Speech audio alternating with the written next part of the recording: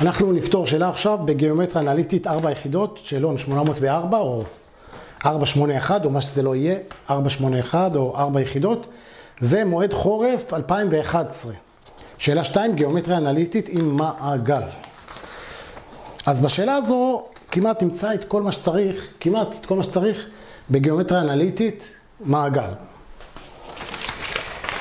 נתון מעגל שמרכזו O, 0, 0, בראשית הצירים, 0, 0. נקודה M נמצאת ברביע הראשון. דרך הנקודה M הנמצאת ברביע הראשון, העבירו ישר המשיק למעגל, בנקודה D 1 מינוס 1. 1 מינוס 1, נרשום.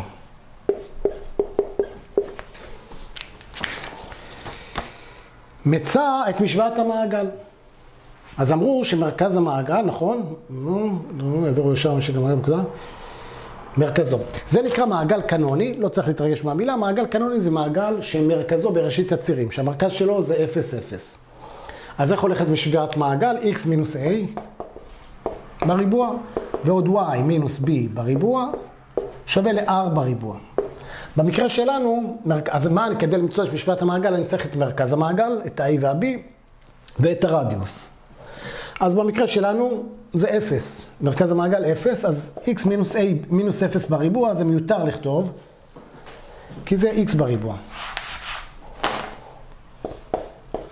ועוד y מינוס 0 בריבוע זה מיותר, זה y בריבוע שווה ל-r בריבוע. כלומר, כדי לענות על הסעיף הזה, מספיק לי רק למצוא את הרדיוס.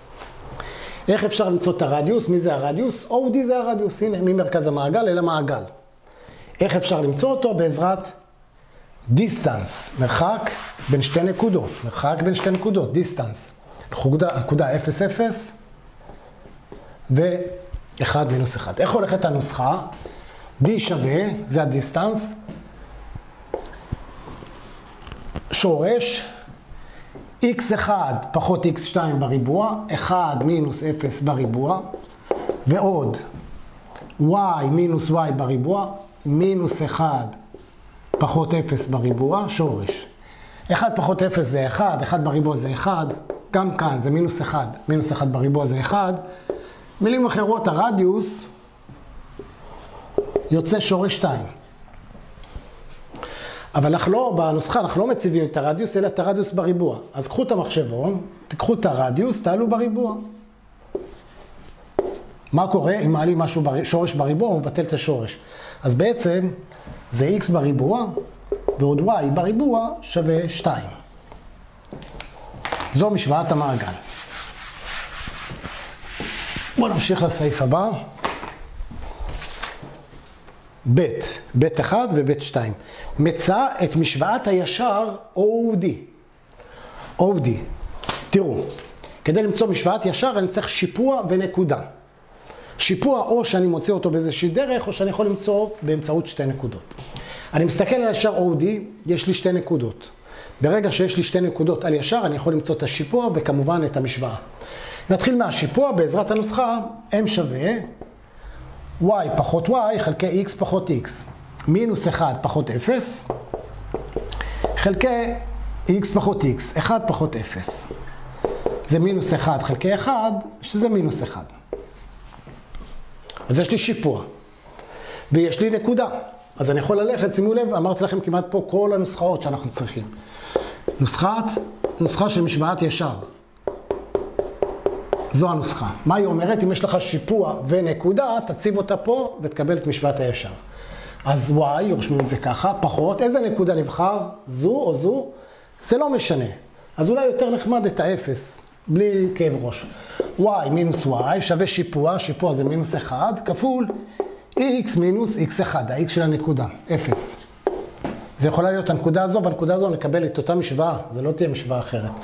y פחות 0 זה y, מינוס 1 כפול x זה מינוס x, מינוס 1 כפול 0 כמובן זה 0, אז המשוואה היא y שווה מינוס x.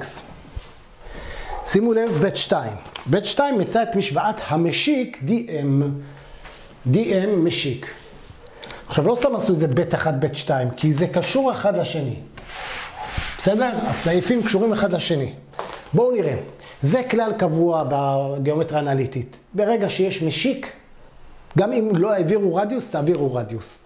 ואז אוטומטית, יש את המשפט, רדיוס למשיק, רדיוס, אם מותחים אותו למשיק, הוא מונח למשיק בנקודת ההשקה.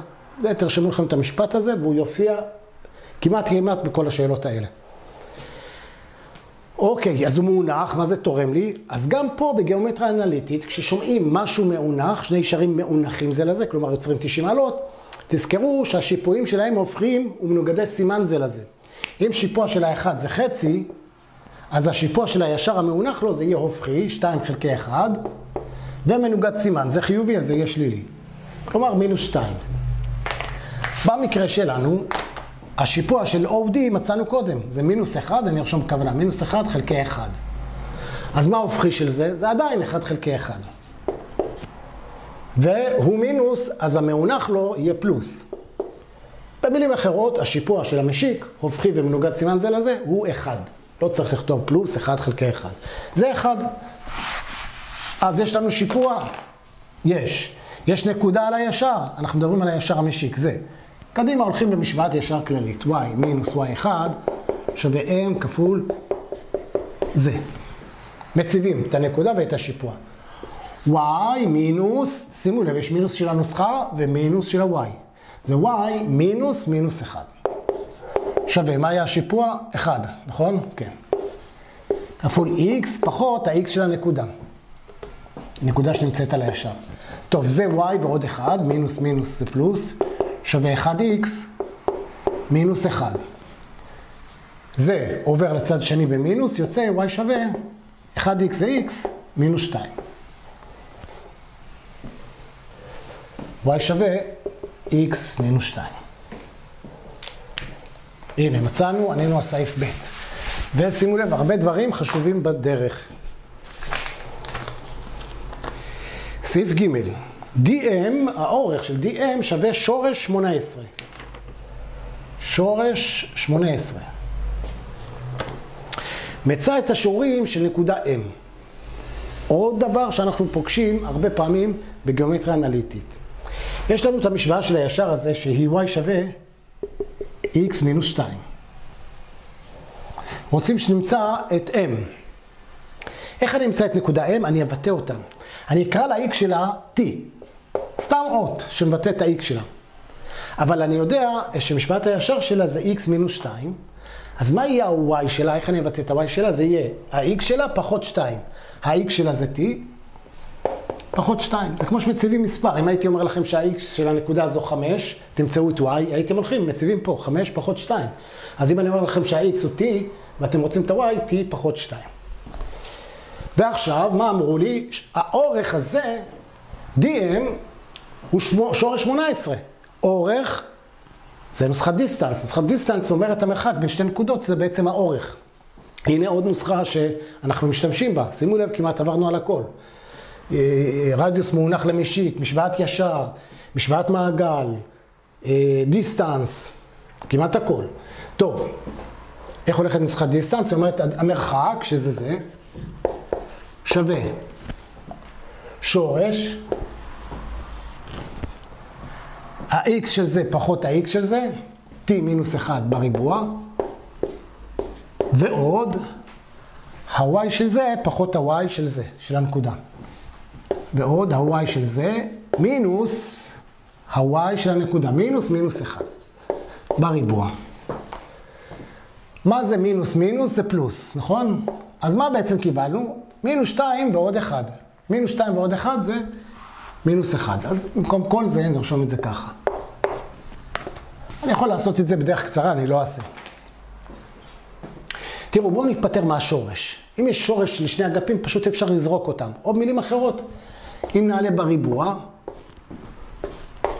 זה מבטל את השורש, קיבלנו 18, והריבוע מבטל את השורש, קיבלנו t מינוס 1 בריבוע. T מינוס 1 בריבוע, ועוד t מינוס 1 בריבוע. זה וזה ביחד, אפשר לחבר אותם, זה שניים כאלה, אבל אני אפתח כל סוגריים לאט לאט, בסדר? זה t בריבוע, מינוס 2t, פלוס 1. אני פותח את זה מהר לפי נוסחאות כפל מקוצר, ועוד כן? זה בריבוע, מינוס 2 כפול זה כפול זה, ועוד, תמיד יהיה פה ועוד, זה, זה בריבוע, ועוד 1.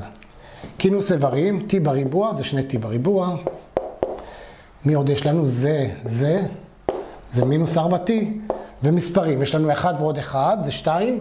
ה-18 אני כבר מעביר אותו לצד שני במינוס. מינוס 18 ועוד 2 זה מינוס 16, שווה 0. אפשר לחלק ב-2, או פשוט ללכת למחשבון, זו משוואה ריבועית, ולהציב. יש לנו 2, יש לנו מינוס 4, ויש לנו מינוס 16. t שווה 4, או t שווה מינוס 2. שיש לי שתי אפשרויות, ולא כתוב נמצא את שתי האפשרויות, אלא אומרים לי מצא את הנקודה, אני צריך להחליט, על פי נתוני השאלה. נקודה M נמצאת ברביע הראשון, ברביע הראשון שיעור ה-X חיובי. שיעור ה-X חיובי, ופה שלילי ופה חיובי, לכן נבחר T שווה 4. אז ה-X שלה זה 4, מה ה-Y? ה-Y זה T פחות 2, 4 פחות 2 זה 2. אז מצאנו את שיעורי נקודה M והשתמשנו בנוסחת דיסטנס. אני מקווה שאנחנו כבר מגיעים לסעיף האחרון. לא יודע. כן, מצא את שיעור נקודה M. ד', העבירו מעגל דרך הנקודות O, D ו-M. העבירו מעגל דרך הנקודות O, D ו-M. מצא את משוואת המעגל. מצא את המשוואה של מעגל זה. בואו ניקח את זה רגע הצידה, שלא יהיה לנו בלבול שם. O, D ו-M. O, D, M. אני אעביר רגע מעגל. מה זה מעגל עובר דרך הנקודות? זה משהו כזה, בסדר? חשוב ביותר, הנה הכלל האחרון. כי מה, אני חושב שהשתמשנו בכל מה שצריך, באמת באמת. זו 90 מעלות, זוכרים אותה? הנה, פה 90 מעלות. בגלל זה הוצאתי את זה החוצה. מה זה אומר? כדי למצוא משוואת מעגל צריך את מרכז המעגל ואת הרדיוס שלו. אוקיי? ואת הרדיוס, לא להתבלבל, או זה לא מרכז המעגל. מה זה? אתם רואים? זו זווית היקפית, והיא שווה 90 מעלות. הכלל אומר, אם יש לנו מעגל ויש לנו זווית היקפית, הנה זו זווית היקפית, והיא שווה 90 מעלות, זה אומר שהיא נשענת על קוטר. זה נשענת, הרגליים שלה, הקרניים שלה, על הקוטר. מה אני אלמד? שהנה, זו זווית היקפית, אלה הקרניים שלה, כלומר היא נשענת על זה. מה אני מבין? שזה קוטר, OM קוטר. יש לי את הנקודות, נכון? 4, 2 ו-0, 0. איפה נמצא מרכז המעגל? באמצע הקוטר. הנה עוד נוסחה. נוסחת אמצע קטע. איך מוצאים את האמצע? x פחות x, x אמצע, שווה x ועוד x, 4 ועוד 0, כאילו קצה ועוד קצה חלקי 2. זה שווה 2. איך מוצאים את ה-y? באותה צורה. ה-y הזה ועוד ה-y בקצה, לחלק ל-2. 2 ועוד 0 חלקי 2 זה 1. מה אמרנו? בשביל למצוא משוואת מעגל צריך את מרכז המעגל ורדיוס. מרכז מעגל כבר יש לנו. מה צריך רדיוס? מי זה הרדיוס? אם זה מרכז המעגל, אז זה הרדיוס. איך נמצא אותו? בעזרת distance. distance שווה שורש x פחות x, אולי נעשה מפה, זה לא משנה. באים מפה, תלכו תמיד קבוע, בסדר? 4 פחות 2 בריבוע, x פחות x בריבוע, זה distance, ועוד y פחות y בריבוע, 2 פחות 1 בריבוע. נעשה את זה בעל פה. 4 פחות 2 זה 2, 2 בריבוע זה 4, ועוד 2 פחות 1 זה 1, בריבוע זה 1. אז זה הרדיוס, שורש 5. אבל בנוסחה אנחנו לא מציבים את הרדיוס, אלא רדיוס בריבוע. בנוסחה של מעגל מציבים רדיוס בריבוע. אז קחו את שורש 5 ותעלו בריבוע. מה תקבלו? 5. שוב, כמו שאמרתי קודם, מעלים בריבוע, הריבוע מבטל את השורש. לכן, איך הולכת משוואת המעגל? אמרנו ככה, ועוד y מינוס b בריבוע, שווה לרדיוס בריבוע. a ו-b זה מרכז המעגל, אז x, מחקתי, כל הכבוד. זה היה 2, מרכז המעגל, ו-1. אז x מינוס ה-x של מרכז המעגל בריבוע, ועוד y פחות ה-y של המרכז בריבוע, שווה לרדיוס בריבוע, שווה לחמש. זו משוואת המעגל. x מינוס 2, y מינוס 1 וזה 5. זה הכל חברים, שמחתי לעזור לכם, אני אודה לכם תעשו לייק לסרטון, תרשמו לערוץ. אנחנו ניפגש בסרטונים הבאים, אז תודה, ביי ולהתראות.